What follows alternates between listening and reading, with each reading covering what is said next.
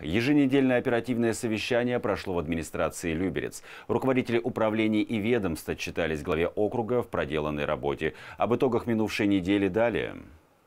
Более 1800 раз на минувшей неделе жители обращались в полицию. 33 заявления послужили поводом возбудить уголовные дела. 27 из них стражи правопорядка раскрыли по горячим следам.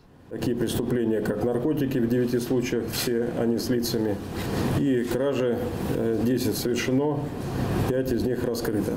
Неделя без возгораний. Крайне спокойной выдалась семидневка у люберецких огнеборцев. Напротив, насыщенными трудовые дни были у коммунальщиков. Они продолжают подготовку округа к осенне-зимнему периоду. Сейчас на планово-профилактический ремонт остановлена одна котельная.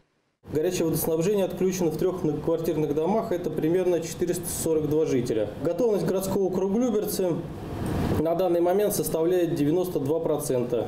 Из 1102 домов подготовлено 1864. Из 81 котельной подготовлено 78. В Люберцах продолжают ремонтировать подъезды. На сегодняшний день готовы 55 из 137 запланированных входных групп. Приводят в порядок и дороги. Только во дворах отремонтировали 97 ям общей площадью 1078 квадратных метров. Ведутся работы по комплексному благоустройству дворовых территорий. Плановая дата завершения 31 августа. Продолжаются работы по благоустройству Малаховского озера. Общий процент выполнения работ на сегодняшний день 80%. Также на заседании обсудили просьбы и обращения жителей и то, как шла работа по исполнению поручений главы городского округа. Анна Троян, Валерий Абсалямов и Сергей Гвоздев, телеканал ЛРТ.